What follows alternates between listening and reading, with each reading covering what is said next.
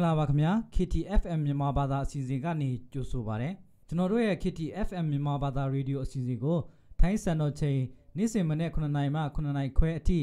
မြန်မာစံတော်ချိန်နေ့စဉ်မနေ့6နာရီခွဲမှ9နာရီအထိထိုင်း Greeny နဲ့စတဝိုက်မှာ FM Radio Line 100 MHz ကနေဖမ်းယူနားဆင်နိုင်ပါပြီကနဝတီ Times ရဲ့လူမှုကွန်ရက်စာမျက်နှာမှာလည်းဓာတ်ရိုက်ထုတ်လွှင့်ပေးနေပါတယ်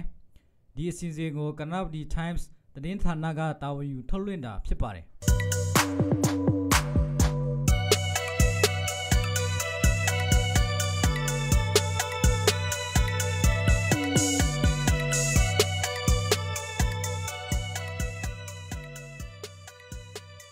တဲ့ရပဲစီ Greeny ပြည်သူပြည်သားအားလုံးဘင်းကင်းလုံခြုံပြီးစိတ်ချမ်းသာခြင်းကိုကျန်းမာခြင်းနဲ့အတူလူရင်ဆန္ဒတွေပြေဝကြပါစေလို့ KTFN ဖွဲ့သူဖွဲ့သားတွေကဆွတောင်းမြတ်တာပို့တာလိုက်ပါတယ်။နိုဝင်ဘာလ22ရက်နေ့အင်္ဂါနေ့မနေ့ပိုင်းမှာပြောပြပေးမယ့်သတင်းတွေကတော့လွိုင်ကော်မြို့နယ်ရှိဖက်ချမ်းမှာအပိပိဆိုင်ရာကလေးများနေ့ပြုလုပ်ခဲ့ပါတယ်။နိုဝင်ဘာလ23ရက်နေ့မှာကြာရောက်မဲ့2962ခုနှစ်ပြည့်ကရန်နိတိကူကြိုဆိုတဲ့အနေနဲ့ဘောလုံးပြိုင်ပွဲကိုကျင်းပခဲ့ပါတယ်။စစ်ကောင်စီရဲ့ဖမ်းဆီးရိုက်နှိပ်ခံရတဲ့မွေးရပါဆွတ်အပ်နေသူဟာ ဒဏ်ရာကြောင့်အဲ့ရထဲမှာလဲနေရပါတယ်။စတဲ့သတင်းတွေအပါအဝင် KNDF တက်ရေးတစ်တက်ရေးမှုတူဖြစ်တဲ့ခွန်တော်မနဲ့တွေ့ဆုံမင်းများချင်းကိုတင်ပြပေးဖို့ရှိပါတယ်။ကျွန်မမော်လေးများပါ။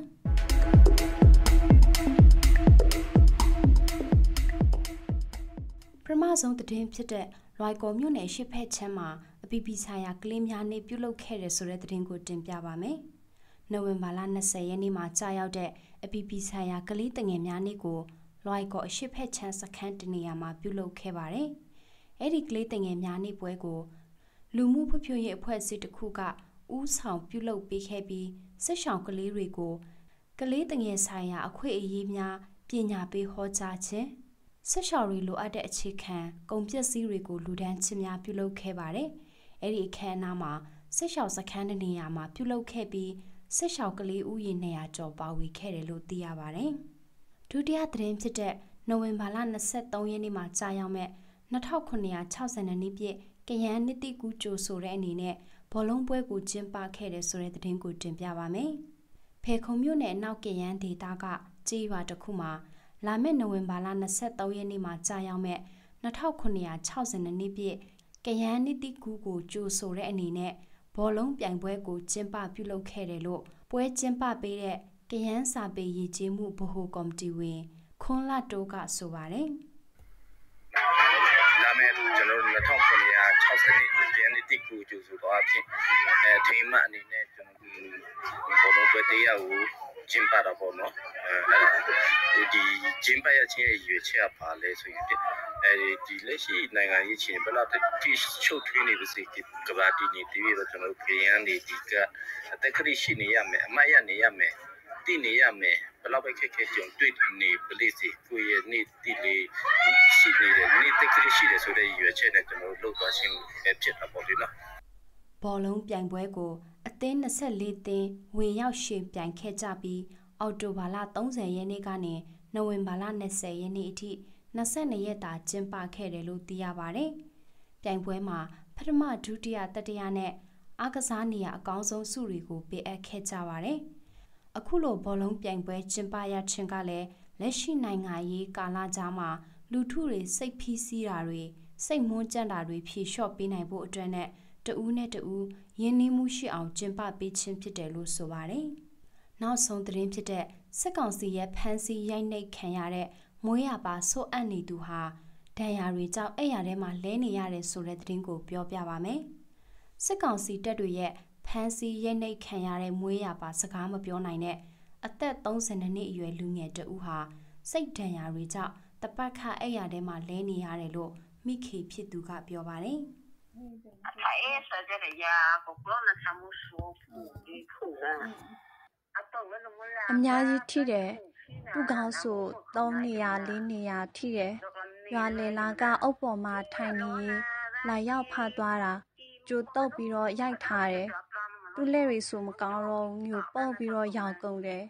၄ရက်၅ရက်လောက်အိမ်မှာရင်တွေနဲ့တိုက်ပြီးနေရတယ်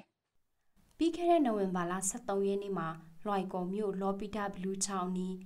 ရိတ်ခါတဲပို့သွားလာနေတဲ့စစ်ကောင်စီတပ်နဲ့ဂရီနီမျိုးသားများကာကွယ်ရေးတပ် KNDF တပ်ရေး30ထိတွေ့တိုက်ပွဲဖြစ်ပွားခဲ့ပြီးနောက်တရက်မှာလော်ဘီဒကြီးရွာအုံစုကြီးရွာတရာကအဲ့ဒီလူငယ်ကိုဖမ်းဆီးရိုက်နှိမ်ခဲ့တာဖြစ်ပါတယ်။ ဖမ်းဆီးရိုက်နှိမ်ခံရပြီးနိုင်ပိုင်အတွင်းမှာပဲအဲ့ဒီလူငယ်ကိုပြန်လွတ်ပေးခဲ့ပေမဲ့ခန္ဓာကိုယ်မှာ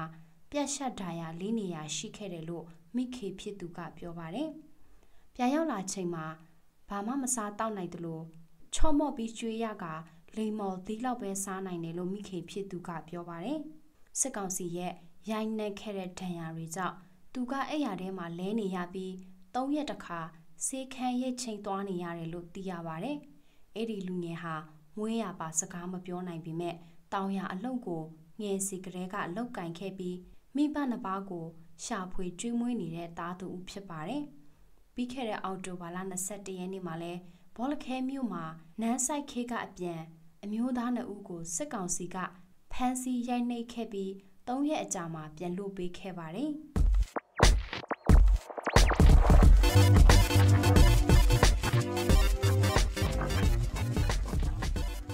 KTFM Radio အစီအစဉ်တွေကို2022ခုနှစ်ဇွန်လ1ရက်ကစပြီး FM Radio Line 100 MHz မှာနေ့စဉ်ထုတ်လွှင့်ပေးနေပါပြီ။ Canada Times ရဲ့လူမှုကွန်ရက်စာမျက်နှာမှာတိုက်ရိုက်ထုတ်လွှင့်ပေးနေတဲ့တစ်ချိန်တည်းမှာပဲ Thai Greeny နယ်စပ်နဲ့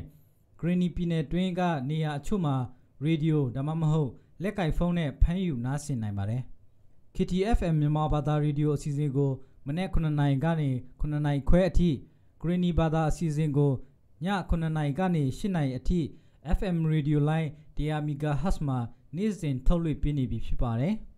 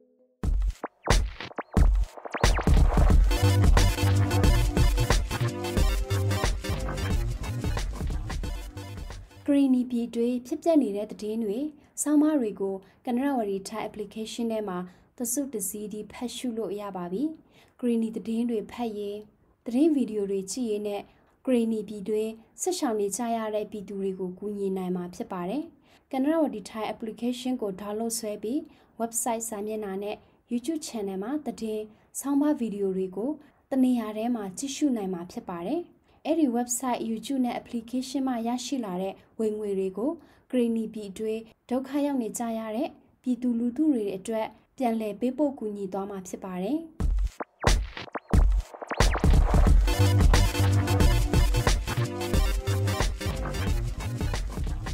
လက်ရှိ Greeny ပြည်တွင်းကစစ်ကောင်စီရဲ့လှုပ်ရှားမှုအခြေအနေတချို့နဲ့ပြည်တွင်းစစ်ရှောင်တွေရဲ့အခြေအနေတွေနဲ့ပတ်သက်ပြီး Greeny မျိုးသားများကကွယ်တက်တက်ရေးတက်တက်ရေးမှုတူဖြစ်တဲ့ခွန်တော်မနဲ့ကနရဝရီထိုင်းကတွေ့ဆုံမင်းများထားတာကိုမော်မီများကတင်ပြပေးပါမယ်။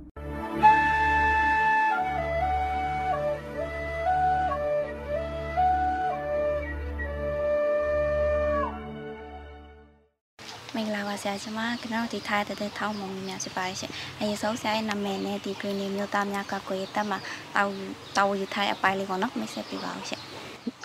ကျွန်တော်ကဟိုမြန်မာလို့ခေါ်တယ်ဟိုအမတေးတရင်ကျန်တဲ့အမတေးတရင်တိုင်းမူဟိုတောင်းယူထားတယ်တဘာထဲမှာပဲကျွန်တော်ကဟိုဟိုပြန်ကြရေးမှာဘိုးဝဲပြန်ကြရေးမှာလည်းဟိုဟိုတောင်းယူထားရရှိပါတယ်ခင်ဗျဟုတ်ဟု တ်ကဲ့ရှင်တမဆုံးအနေနဲ့ပေါ့ဒီလက်ရှိ green ပြည်တင်မှာလက်ရှိအာမြေပစ္စည်းချင်းလေးလေးပြောပြပေးပါဦးရှင်ပေါ့နော်ဒီစစ်ကောက်စီရဲ့အာလက်ရှိလှုပ်ရှားမှုချင်းများဘယ်လိုရှိနေတယ်လဲပေါ့ဟုတ်ရနေပြီးမှတော့ဟိုအနာတိန်ပြီးတော့ဟိုစစ်ပွဲစဖြစ်တဲ့ချိန်ကနေစပြီးတော့ဟိုစစ်စီအေးသွားတာမျိုးတွေတိတ်မရှိပါဘူးဟို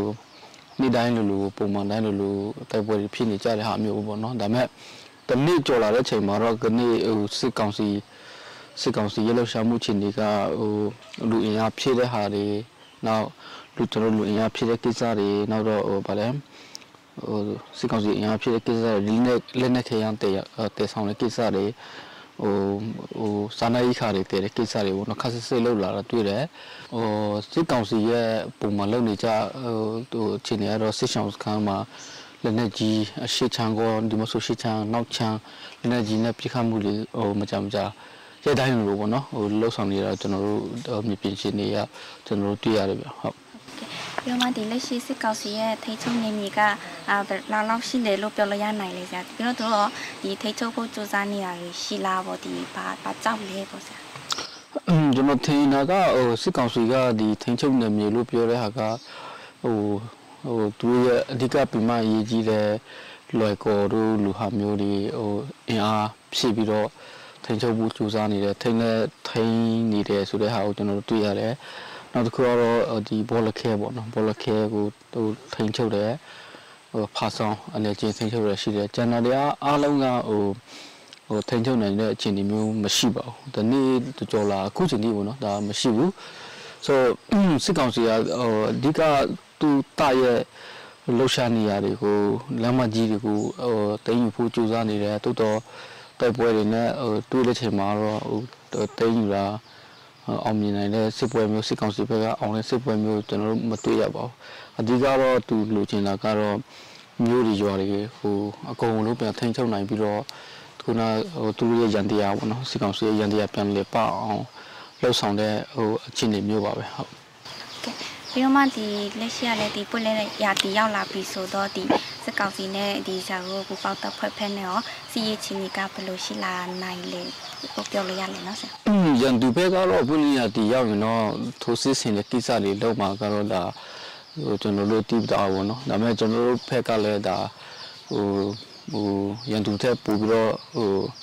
ခြေလန်းဥဟူနိုင်အောင်တော့ကျွန်တော်တို့အစီအစဉ်တွေအများကြီးရှိပါတယ်။ ဒါဆိုတော့ကျွန်တော်တို့ပူပေါင်းတပ်ဖွဲ့တွေကန်ဒီရိုကီတို့ကလည်းဒါစစ်တိုက်ဖို့ပဲဒီဟိုလက်နေခဲရန်နဲ့ကန်ဆောင်ရဖြစ်တဲ့အတွက်ကျွန်တော်တို့ဟိုစစ်ကောင်စီကဟိုတိုက်ခိုက်မှုတွေမရှိဘူးဆိုရင်တော့မှကျွန်တော်တို့ကရန်သူကျွန်တော်တိုက်ဖို့အဆင်သင့်ရှိနေပါတယ်။အဲ့တော့တိုက်နိုင်အောင်လည်းအခုချိန်ကလည်းကျွန်တော်တို့ပြင်ဆင်မှုတွေလုပ်ထားတာရှိပါတယ်ဟုတ်ကဲဆရာနောက်ဒီပြည်သူလူထုတွေအနေနဲ့ရောဒီဘယ်လိုပြည်စင်မှုတွေလှုပ်ဆောင်ထားတဲ့တယ်လဲပေါ့ အပြည်သူလူထုတွေကတော့ကျွန်တော်တို့တပ်ဖွဲ့ဝင်တွေတမဟုတ်လဲကျွန်တော်တို့ကန်တရားရဲ့ဘိုးကော်မတီတွေဟိုဆိုတက်ခိုက်တမားတွေအများအားလို့လို့ပဲကျွန်တော်တို့ဟိုလုံချုံကြီးပေါ့နော်ဟိုလေချောင်းရံကကွယ်တဲ့ဟိုဟာတွေကျွန်တော်တို့လုပ်ဖို့တိုက်တွန်းနေတာရှိတယ်အများကြီးပေါ့နော်ဆိုတော့ဟိုစာနာရေးခါတွေစူဆောင်တဲ့ကိစ္စတွေဟိုနောက်ဟိုအလုပ်တွေပုံမှန်လုပ်နိုင်ဖို့လဲဒါကျွန်တော်တို့အများကြီးတိုက်တွန်းထားတာရှိတယ်တချို့လူထုတွေကတော့လက်နက်ဆောင်ရွက်မှုတွေပြေဝရှိပြီးတော့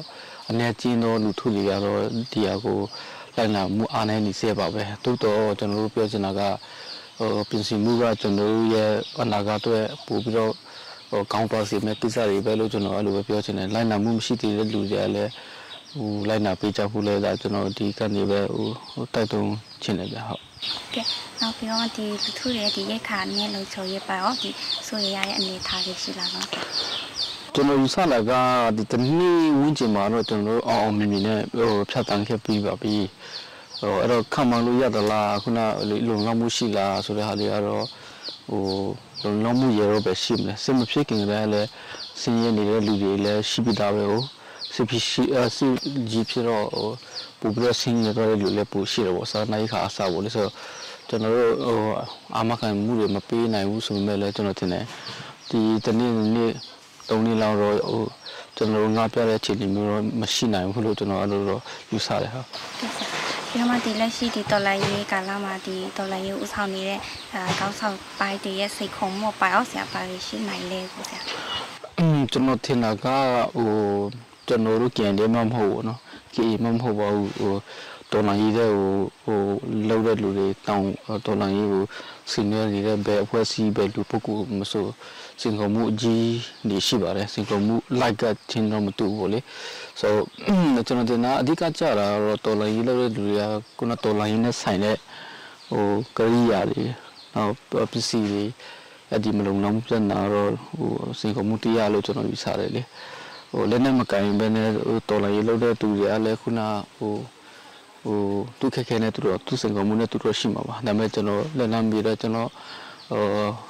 တာဘောနော်ကျွန်တော်တာရဲ့နောက်ကျွန်တော်တို့ဥဆောင်နေတဲ့သူတွေရဲ့စင်ကုန်မှုကတော့ကျွန်တော်ခုနစောတဲ့ကိုစောပြောခဲ့တယ်လို့ပဲဒီချင်းမျိုးပဲရှိတယ်လို့ကျွန်တော်ယူဆတယ်ဟုတ်ပြီးတော့မှဒီတော်လိုင်းရေးတနည်းကြောကြကာလတော်တွင်မှာဒီရဲဘော်တွေရဲ့စိတ်အားထက်သန်မှုပါရောဘယ်လိုရှိလဲဆရာဒီရောကြလာရရောရှိသလားပေါ့ဟုတ်ဟိုရန်သူဘက်ကထက်စားလို့ရှိရင်တော့ကျွန်တော်တို့ကအများကြီးခံတာပါတယ် ဒီနေ့ကြော်ကြလာတဲ့အချိန်မှာဟိုတော်နိုင်ရတဲ့အခြေအနေကိုလည်းနားလေသဘောပေါက်ထားတဲ့ဟိုရဲဘော်တွေအများကြီးရှိတယ်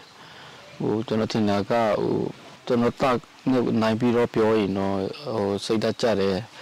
ဟိုမလုပ်ချင်ဘူးဆိုတော့ရဲဘော်တွေဟိုမရှိပါဘူးတန်တဲ့တက်ရင်လည်းထိုနည်းတူပဲရှိမှာပေါ့လေဟုတ်ကဲပြီးတော့မှဒီစစ်စစ်အသုံးစရိတ်ပိုင်းမှာရောဆရာဒီရောကြလာရောရှိသလားပေါ့ဟုတ် စစ်တုံးစေရောကြချင်းမျိုးကြချင်းကတော့ကျွန်တော်ယူဆတာဟိုဒါကတော့ကျွန်တော်ဟိုမသိဘူးကျွန်တော်နားလည်ထားတာကဟိုစစ်တုံးစေလည်းကျွန်တော်စီမှာကြီးကြီးမားမားမရှိဘူးဒါပေမဲ့စီရေးနဲ့ဆိုင်တဲ့ပစ္စည်းကိရိယာတွေဖြစ်တဲ့ဟာတွေကတနေ့ပြီးတနေ့တူတက်လာတာပဲရှိတယ်ဒါတွေကဘာလဲဆိုတော့ဟိုလူထုရဲ့ပါဝင်မှုအားကြောင့်ပဲလူထုရဲ့ပါဝင်မှုအားလူထုဆိုတဲ့ဟာကကျွန်တော်ပြည်တွင်းမှာပြည်ပမှာကောအခြားနေရာတွေမှာ ဒီတော်လိုင်းကြီးကိုဟိုတစ်ဖက်တစ်လမ်းတန်းနိုင်တဲ့လူတွေဟိုဝိုင်းလို့တဲ့အားနဲ့ပဲကျွန်တော်တို့တဖြည်းဖြည်းတက်လာကြတာပဲရှိပါတယ်ဟုတ်ပြီးတော့မှဒီလက်ရှိတော်လိုင်းရေးကလာမှာဒီပြည်သူတွေပြီးတော့မှတော်လာနေတဲ့ရဲဘော်တွေပြီးတော့အင်ဂျီဆိုရလို့ဒီလက်နက်ကိုက်ဖွဲ့စီပေါ့ဆရာအနေနဲ့ပါပြီးပြောချင်တာရှိတယ်လေပေါ့ဒီတော်လိုင်းကြီးကလူထုတော်လိုင်းကြီးဖြစ်တယ်လူထုရဲ့လူထုရဲ့အခြေအနေလူထုရဲ့သဘောထားဆန္ဒတွေကိုဒီ လက်နက်ကင်နေတဲ့သူတွေအားလုံးကမျက်နှာမူဖို့လိုပါတယ်လူထုရဲ့သဘောထားဆန္ဒနဲ့အညီပေါ့လေမျက်နှာမူပြီးတော့ဆုံးဖြတ်တဲ့ကိစ္စတွေတော့ဆုံးဖြတ်ကြရမှာဖြစ်တယ်အဲဒါကတော့ဟိုအရေးကြီးဆုံးအချက်ပေါ့လေနောက်ချက်ကတော့ကျွန်တော်တို့လက်နက်ကင်ဖွဲ့စည်းတွေမြောက်များစွာပေါ်လာတဲ့ချိန်မှာကျွန်တော်တို့ဟိုခုနမလူအားတဲ့ပြဿနာမျိုးတွေလည်းဖြစ်တတ်ကြပါတယ်အချင်းချင်းအခြေများနေတဲ့ကိစ္စတွေလည်းချိုးဖြစ်လာနိုင်ပါတယ်အဲ့ဒါတွေအထူးသတိထား ချောင်ကြည့်ကြဖို့လိုတယ်ဒါတွေအားလုံးဟာရန်သူတွေရဲ့အာတိုက်ခိုက်မှုတစ်မျိုးလို့ကျွန်တော်တို့စိတ်ထဲမှာမြင်လာတတ်မှတ်ပြီးတော့ချင်းချင်းပူပေါင်းဆောင်ရွက်ဖို့နားလည်မှုတွေထားဖို့စီးရမှာပူပေါင်းပါဝင်အတူတကွပူပေါင်းဆောင်ရွက်ကြဖို့ပေါ့လေဟိုတူတလူငါတမင်လို့တော့မရဘူးစီရေးနဲ့ပတ်သက်လာရင်တော့အလုံးစုပေါင်းတိုက်ခိုက်ကြရမှာကျွန်တော်တို့ဘုံရန်သူကဟိုစစ်တပ်တစ်ခုပဲရှိတယ်စစ်ဟို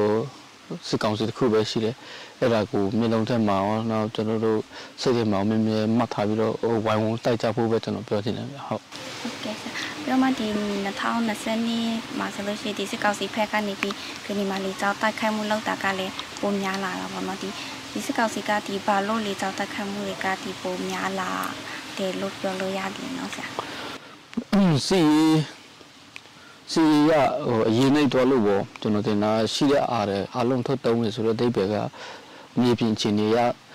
ရန်သူကကျွန်တော်တို့ကိုမရှင်နိုင်တဲ့အတွက်လေချောင်းကနေခုနကွန်ပျူတာမရှိတဲ့ဟာတွေဟို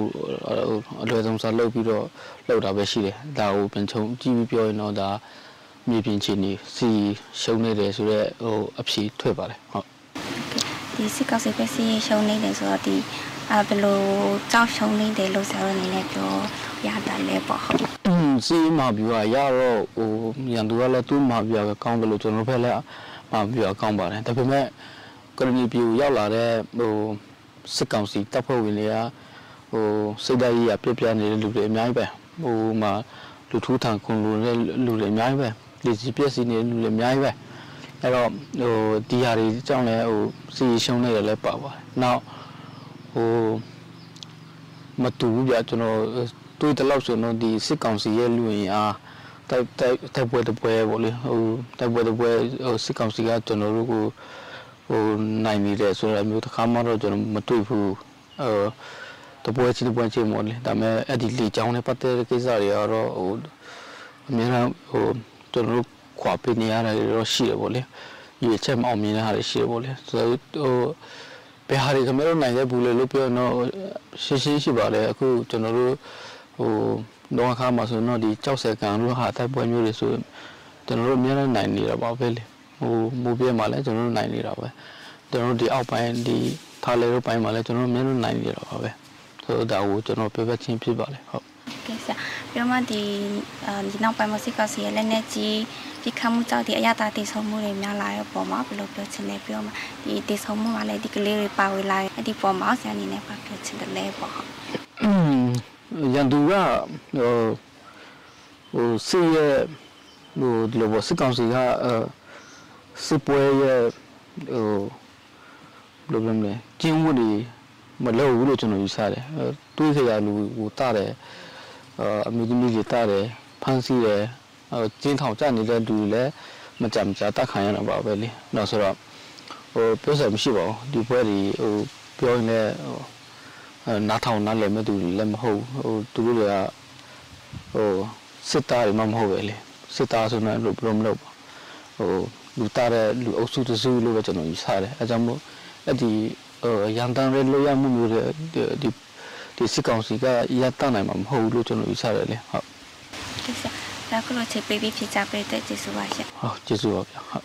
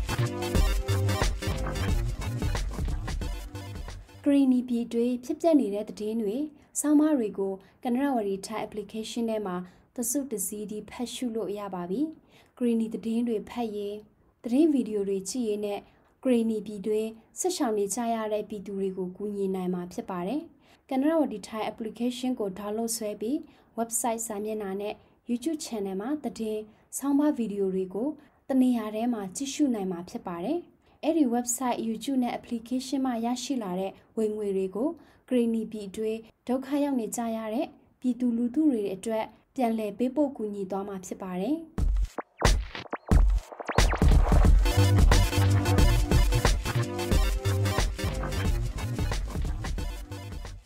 KTFM Radio မြန်မာဘာသာထုတ်လွှင့်မှုအစီအစဉ်ကနေတင်ဆက်ပေးနေတာဒီနေ့အဖို့တော့ဒီလောက်ပါပဲ Greeny ပြည်သူပြည်သားအားလုံးစစ်အာဏာရှင်ဘေးကနေလွတ်မြောက်ပြီး ဘေးကင်းလုံခြုံတဲ့ဘဝကိုအမြန်ဆုံးပိုင်ဆိုင်နိုင်ကြပါစေလို့ KTFM အဖွဲ့သူအဖွဲ့သားတွေကဆုတောင်းမေတ္တာပို့သလိုက်ပါတယ်။နားဆင်ခဲ့ကြသူအားလုံးကိုကျေးဇူးတင်ပါတယ်ခင်ဗျာ။